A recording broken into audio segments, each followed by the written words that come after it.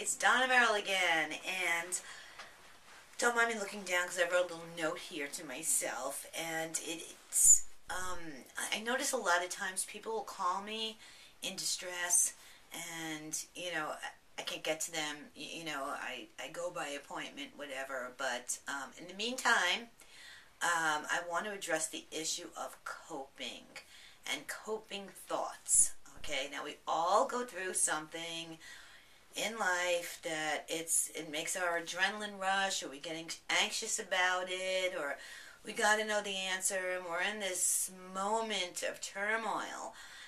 And here's a little clue here's a few affirmations I've wrote down for you guys to copy and you could just replay the video and write them down because this will really help you. So when you find yourself that you're in a distressful situation, you may be anxious, you may be fearful, scared, whatever, if you're in that kind of situation, um, this is what you need to write down and keep saying to your mind. Okay, so here's quote number one. Um, the quote number one are, These are just my feelings. Eventually it will go away. Okay, these are just my feelings eventually it'll go away. And that's the truth, you know, when we're, we're in that situation. Another one is, I can ride this out. I've done it before.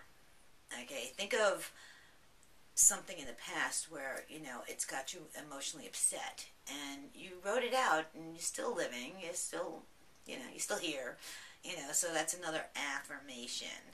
And, you know, you all heard of this one this too shall pass. So these are, you know, a few little affirmations that you may want to write down and kind of put it somewhere. And when you feel distressed, I mean, I do it. Okay, um, I get distressed just like you. And I've learned that this has helped me. So, you know, whatever helps me, this is why I'm here. This is why you opted in um, to your email. So, you know, whatever I'm learning, I want to kind of give to you only because, you know, it's just a cycle here. You know, that's what I want to do.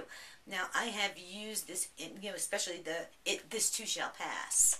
Um, if I am in an emotional quandary where it's something happens and I feel the feelings of distress, anxiety, um, helpless, say, you know, and I just keep repeating it in my mind, this too shall pass, this too shall pass. It's kind of neural linking, and it calms the body down so you can see the situation in a much more clear view. And that's what we need to do because this happens to us all the time, okay? Um, and we want to be clear and focused. So that's a little helpful hint I wanted to share with you, and I'll catch you on my next video.